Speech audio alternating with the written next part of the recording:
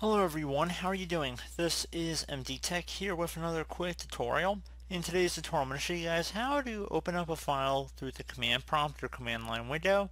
So it's going to be a pretty straightforward process here and without further ado let's go ahead and jump right into it. So if you know the path of the file, so if you're unsure you can always open up File Explorer here and go ahead and navigate over to whatever directory you're looking for. So you could do this PC, you could do local disk, and then users, whatnot, just go through there. And once you have the exact path that you're following here, just minimize here, I'm going to go ahead and open up the start menu, type in command prompt. I'm going to run as administrator, but you don't need to. And you're just going to type in whatever drive letter Windows installed on or whatever file you're trying to run, followed by a colon. Then you can do a forward slash here. Now I'm going to type in users. Then I'm going to do another forward slash. I'm going to go back to my File Explorer here just to follow along. I'm going to type in my username here, so MD Tech. And then I'm going to do another forward slash.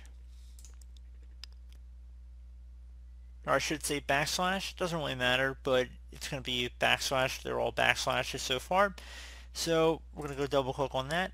Now let's say I want to run this image on my desktop. So I'm going to just type in desktop, next part of our path here, and I'm going to do another backslash, and since the file name is called image, I'm just going to type in image, dot, and now you're going to type in the file extension name, so it's a PNG file, so if you're unsure of the file extension type, you always right click on the uh, file and then select properties, and it will tell you what type of file it is, so dot .png, so I'm going to just type that in, so .png. Again, this will completely depend on your individual circumstance. I'm going to show you guys that you can run a file from the command prompt. Once you have the path correctly typed in here, you can also copy the path too. So if you went over here and just selected the path on File Explorer, you can go ahead and right click and copy on that too. But if you'd rather just type it out like I did, you're welcome to do that as well.